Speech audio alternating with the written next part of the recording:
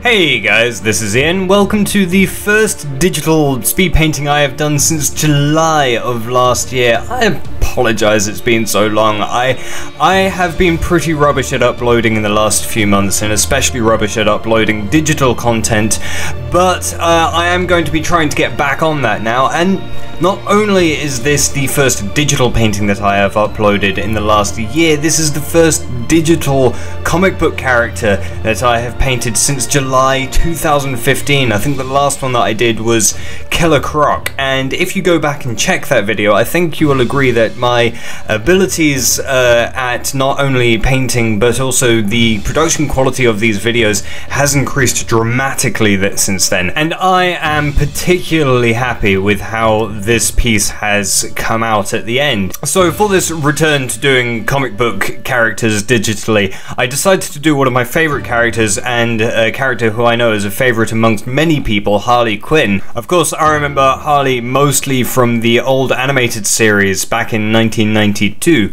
uh, where she was actually first introduced to the DC universe. That's always going to be probably one of my favourite incarnations of her, along with the versions that you see in the Arkham games series, the Arkham City, Arkham Asylum series.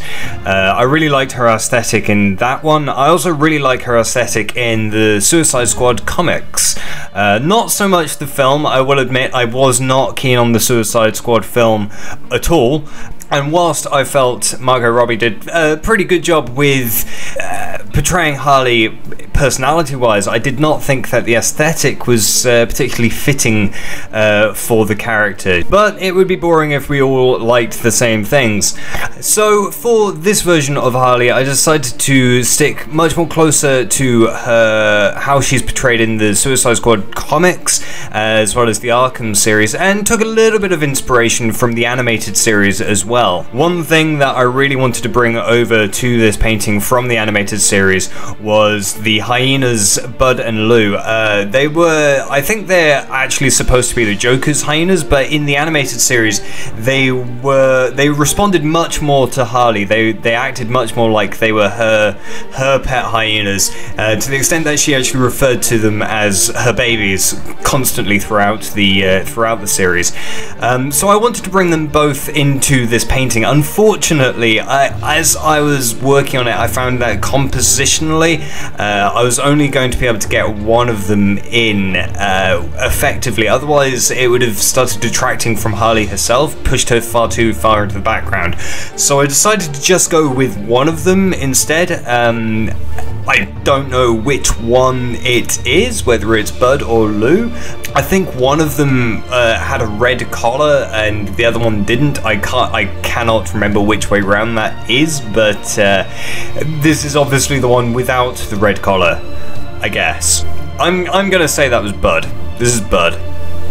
So as with all my digital paintings, I split this one up into different elements. Uh, the main element, the main focus of the piece being Harley Quinn and the hyena, whichever one it is.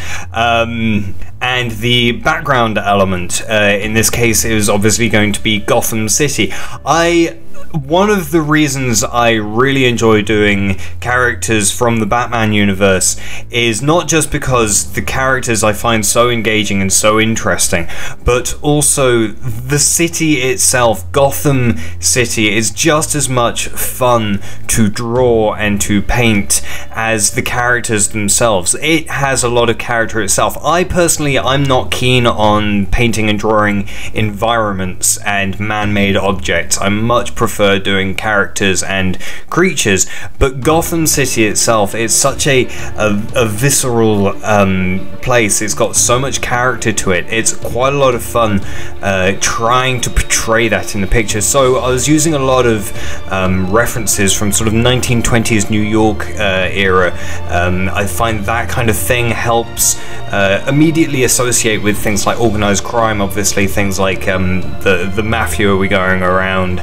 You had things like prohibition and all sorts of organized crime, and that that architecture I find really helps bring that sort of thing to mind. Um, obviously, there's other things as well that I, I can bring into it to um, really litter up the streets. So I, I brought this down into a, a back alleyway with uh, obvious graffiti and things on the wall. I, I went into doing graffiti in, in quite a lot of detail. I made some separate decals for them, and uh, really, I, I, had a lot of fun trying to put in some Easter eggs and things into each one uh, as as I was painting them. So a lot of them kind of get miss go missing in the overall painting, but we know they're there at the end of the day. So that's all that really matters. That being said, there are a lot of things that I would like to go back and change with this painting now looking back at it after I've completed it. There are large areas where the perspective in the in the background is totally out of whack. Um, unfortunately, I think that's that's due to the extreme worm's eye view that I've used here. It's not the easiest perspective to get right every time. Uh, the other problem that I realized looking back at the footage that I was having uh, is in Photoshop itself, I was using entirely the wrong brush um, to get the perspective lines in right. I was using one which uh, was using a lot of pressure um, sensitivity, which was causing me all sorts of problems. And for some reason, I didn't think to change my brush. Uh, so that that's very much my own fault.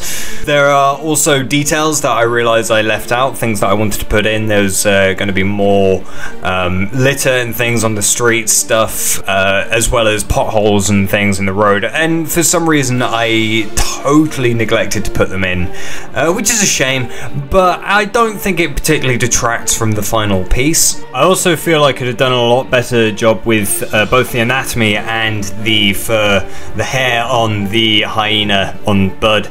Um, his body feels kind of shapeless, and the fur as well isn't the best I've ever done.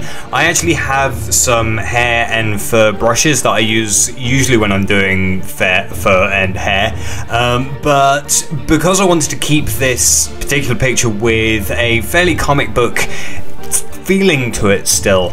Um, I didn't want to go down the route of using those brushes uh, and instead wanted to stick to using more of a, a painterly technique.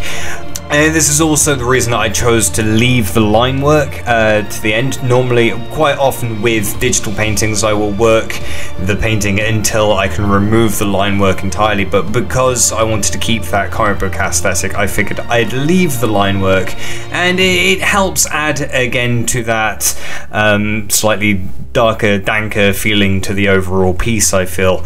Um, makes it just that a little bit more gritty. But I think we are now approaching the end of this video, so I'd like to say thank you very much for sticking with, with me until the end. Let me know in the comments what you think of the final piece, and also let me know in the comments what you think of these commentaries and what you might like to hear me talk about in the future uh, for these videos. Obviously, uh, there are a lot of characters that I have that I want to paint for you guys for these videos, um, but uh, I, I might not necessarily have a lot to say about the characters, so if there's anything that you'd like to hear me discuss uh, about Photoshop or the or the techniques that I use when I'm painting, then please feel free to ask ask down in the comments below, and also leave suggestions for any characters that you would specifically like to see me uh, paint in the future. And I I will attempt to try and get through through them at some point, though I can't guarantee when that will be. Although I am going to aim to try and get one of these digital paintings out, uh, maybe once a week, maybe. Uh, uh, once every couple of weeks.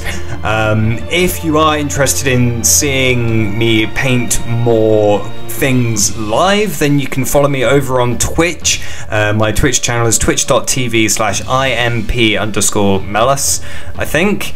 Uh, uh, the link will be down in the description below, and uh, you can pop along uh, and ask me questions live, and I'll try and talk talk about whatever there and then.